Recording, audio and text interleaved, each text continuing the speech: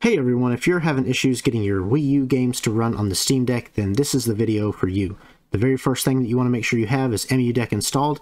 What this is going to do is it's going to allow you to download Cemu, which is the emulator, and it's going to configure it for the Steam Deck so you don't have to do any of that extra settings work, anything like that beforehand. So the biggest problem that a lot of people have is with the games, and it gets really complicated and confusing because there's so many different file types and some of them require keys and some of them don't. But what I'm going to show you today, and if you stick to the end of the video, what you're going to find is an easy way to get your games and make sure that they're in a file type that you don't need keys for. So stick around to the end of this. So I'm going to show you real quick by opening up Cemu, which is the emulator. I'm going to show you that this works. So I'm going to open up the emulator and you can see I'm going to refresh the game list. So there's nothing here. So everything that we do from now on I'm going to show you that these games will populate and they will work. So I have two games here that we're going to look at.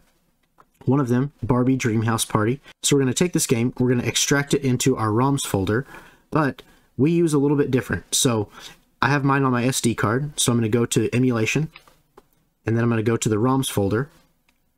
I'm going to go down, I'm going to find Wii U.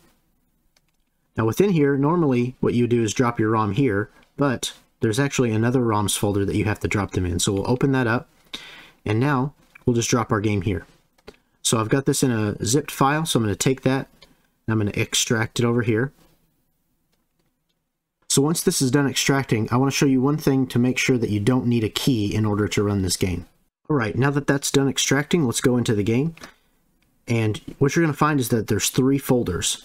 Now what this is, is it's a decryptor, so you don't actually need keys in order to run this game. If you're having issues with your games, look and make sure that inside the game folder you have a folder called code, meta, and content. If we open up the code folder, you're going to find the RPX file. This is the actual game, and everything else is going to help it run. So if you don't have these, then you're probably going to have issues getting your games to run. All right, so let's go back to our, our ROMs folder. Now if I go over to Cemu, and refresh the list, Barbie Dreamhouse pops up. So we know that this game is going to work. Now, jumping back over into our ROMs, I want to show you one more thing. So if you have any kind of DLC or updates for games, you're going to have two separate files. So let's go ahead and move uh, Twilight Princess over into our ROMs folder. So we'll copy that one there. All right, so then we'll go check our ROM. Opening it up, see we got our meta, content, and code folder. Open up the code. There's our RPX file, so we're good to go. Now, when it comes to any kind of updates, you actually want to go a folder back. So you'll go emulation ROMs, and then right inside the Wii U folder, we're going to drop our downloadable content, our DLC, or our update pack. So we'll take that and we'll copy it over there. Now, if we go back, we have our update folder. Inside of our ROMs is our game folder. We're going to go over to Cemu, refresh the list, we've got Twilight Princess right here. So these two games will run, but we have to install our update or our DLC to this game. And the way that we do that is we go to File, Install Game Title Update or DLC. Now for me, I have it on my SD card, so I'm going to click my computer and go to my SD card, which is Drive E, Emulation, ROMs, scroll over to Wii U,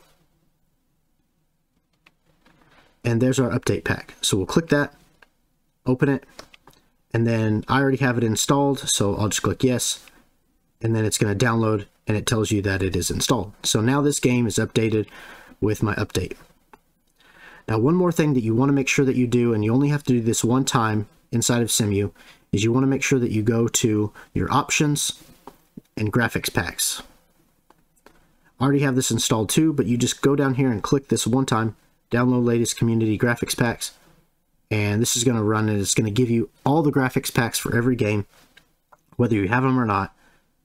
But only the installed games will show up as long as you have this check marked. So we see that Legend of Zelda Twilight Princess had a graphics pack.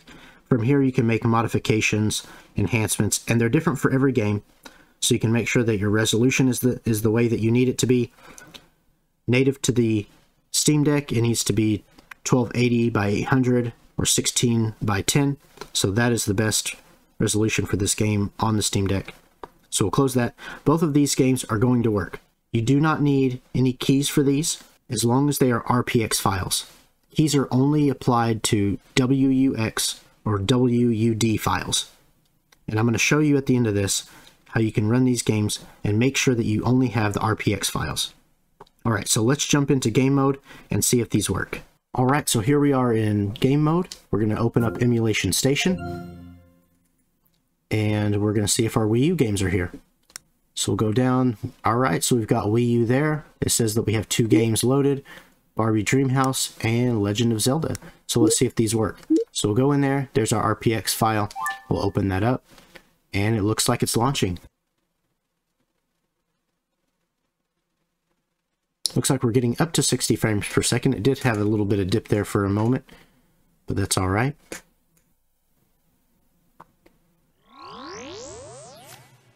Looks like on the title screen there's a little bit of glitching.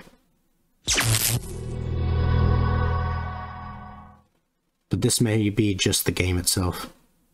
And that quickly went away. Alright, looks like it's loading. And we're still right up there at 58, 57 frames per second.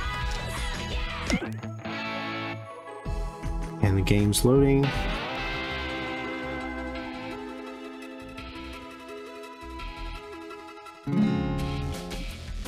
Alright, so I can run around, talk to Ken if I want to.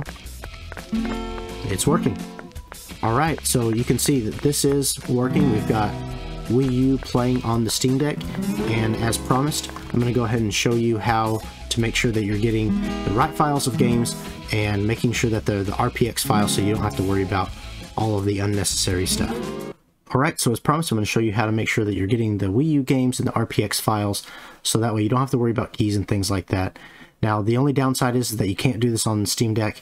It does require a computer, so once you're on a computer, you just want to go to this website right here, and I have a link in the description. And there are a couple fake ones out there, so make sure that your yours looks the same as this. And you just want to go down here to USB helper installer.exe and then click that. It's a really fast download, so as soon as it's done, you just want to click it and it'll start to run. And before we click next, the only thing that we're going to do is make a folder on our desktop now you can do this anywhere, but I'm going to make it right here. And I'm just going to call it Wii U. That way I keep everything consistent. So I'm going to click next, and then I agree. That should default to the latest. Click next, and then this is where you want to change that path. So we'll click browse, and I'm just going to go click the Wii U folder, hit OK, and you can see that it's there. So hit install, and it's going to all install inside this one folder.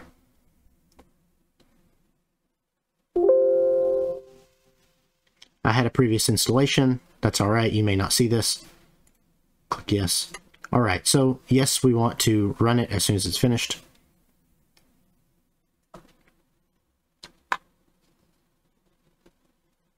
All right. So that's going to finish downloading. And then we're going to come to our language. So I'm in the USA, so I'm going to click that. And then I, I agree and then click USA and then click OK. We want to select a location for our games. It does recommend that you do not put it in program files. So what I'm going to do is I'm going to go to my desktop and then Wii U. And right here, I'm going to make a folder called games.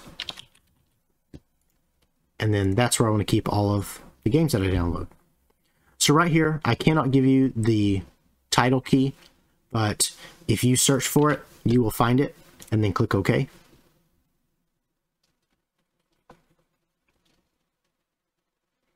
This doesn't take very long at all, so this is going to load, and as soon as this is finished, then the USB helper is going to pop up, and then we can start to look for our games.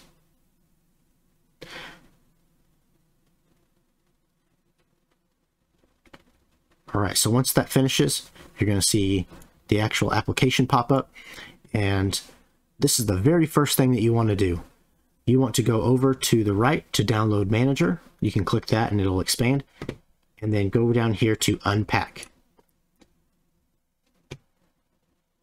So we want to make sure that we're in our games. Click select folder.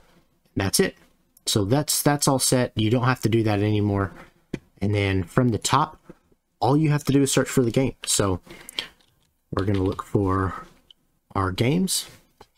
Now, disclaimer, you should never download games that you don't already own. So I'm going to go here and I'm going to download Barbie Dreamhouse Party.